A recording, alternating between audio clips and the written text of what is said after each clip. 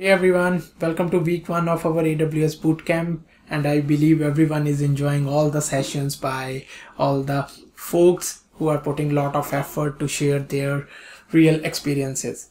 I'm going to cover the pricing consideration for cloud development environment for this week. If you have created the AWS account but not set up the billing alert, I request everyone to follow the week zero video because that is the most important part as our goal is to remain under free tier as much as possible. So let me start it with Gitpod. Gitpod is providing the cloud development environment and they are providing a generous free tier which will cover 4 core 8 GB and 30 GB of storage and the usage will be around 50 hours per month. So up to 50 hours of the usage, you can use Gitpod cloud development environment with your favorite language as well as mm, to complete your homework.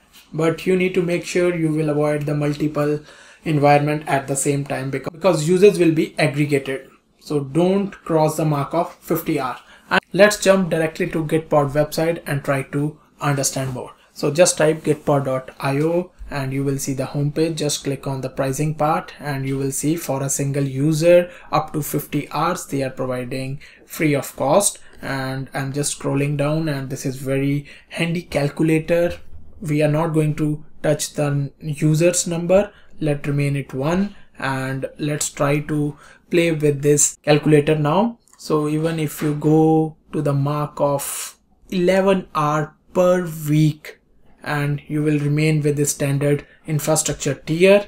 Still you are going to pay zero. We are expecting that for this bootcamp you need on average two hours a week. But if you want to explore it more please play with this calculator and try to understand where the break even mark is. So if it is going 12 hour a week even in the standard tier it will be chargeable. So let's remain under standard tier and I believe 4 core 8 GB RAM is more than enough to complete the exercise. But if you want to play with more infrastructure just try to spend some time on this. And the another important part is once you will stop working on the environment if there is no activity after 30 minutes it will be stopped. So that you will remain under the 50 hours mark so make sure you try, you'll spend some time on this page and get familiar yourself with how the pricing is working here. I'm just clicking on my dashboard to show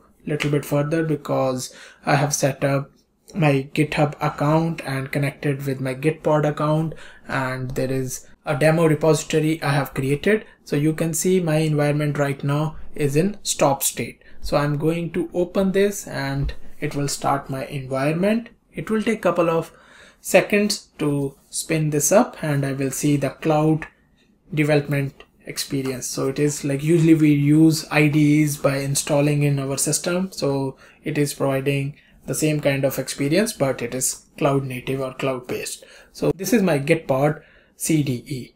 So let me go back to my dashboard again and I'm just going to click on the user settings. I just want to show some billing information. And here you can see that as I was exploring it 496 credits are remaining. So spend some time explore it and enjoy the cloud development experience.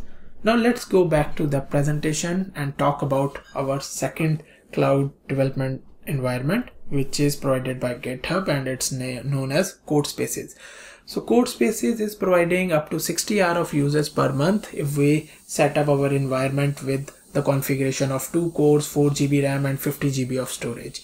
And if we increase the infrastructure configuration, then the free usage will be up to 30 hours. So you need to make sure that if you are going to use more infrastructure, the users will get reduced. Let me go to the browser and we will explore about GitHub Codespaces type github code spaces in your favorite search engine and uh, this is the first link which i found and here you can learn a bit about pricing and uh, as i mentioned in the presentation if you want to remain under free tier you need to make sure you will be using under 2 core or 4 core. Even you can go to the 8 core but the uses are will be lesser. So let's go to the environment. I'm just clicking get started for free and I'm clicking on new code spaces. Here I can select the repository. Let me try if I can select my Hugo repository and default branch the region. Here you can select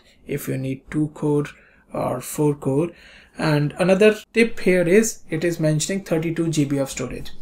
15 GB is free because the storage will grow as more the code files will be there. So 32 is the maximum line. But by default it 15 GB will be covered under free tier. So there is no charge going to happen to you. Just go click on the code spaces uh, just click on creating code spaces and it will take a minute to set this up. Okay so now our code spaces is set up. You can play and make sure you calculate the time and once you close this window after some time of inactivity. This will also go in the stop state.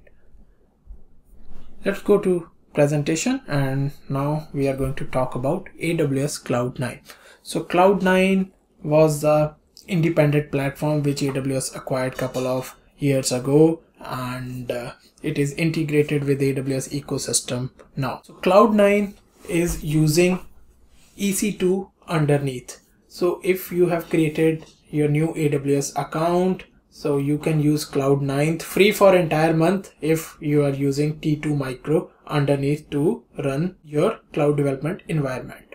But if you are using your T2 micro or any other free tier instance for your other purpose then I request to avoid Cloud9 or if you want to create a separate AWS account dedicatedly for Cloud9 you can enjoy the AWS free tier and Cloud9 using T2 micro instance. So let's go to now AWS console and we will explore more about this. Let me click on sign into the console and here we will type cloud9 and make sure you select the right region in which you want to spin up. I'm just clicking on create environment aws bootcamp and here new ec2 instance and you need to select t2 micro. And then you can fill the settings and then you can click on create. I'm not creating this but just want to show but here it's a tricky part. If you are using your free tier instance somewhere else in the account avoid aws cloud9 because at the end of month the bill will be aggregated hours of uses. So even if you use t2 micro with cloud9 and you are using t2 micro or t3 micro for some other purposes maybe hosting application or completing other tasks the bill will be there so make sure to avoid. Now i want to cover an important topic here. If you watch the security video and following all the step by step to remain under free tier if possible please avoid CloudTrail so CloudTrail is a service which will log all the api request towards your aws resources as well as aws account. By default it will log all the requests for 90 days.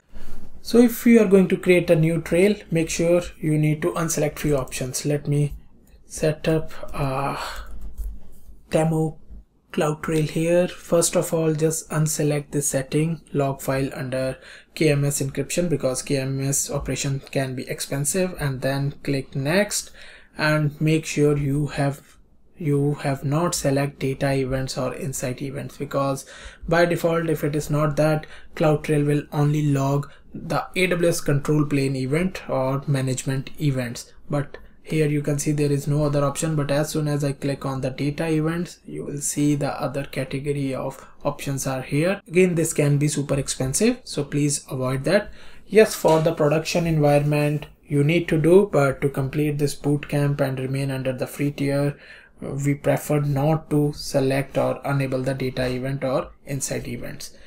Even if you don't want to set up the CloudTrail that is also fine. Because for the 90 days CloudTrail will store the logs you can see the event history and all the logs here. With that we are completing our this week's video. I hope everyone is enjoying the bootcamp and see you next week. Take care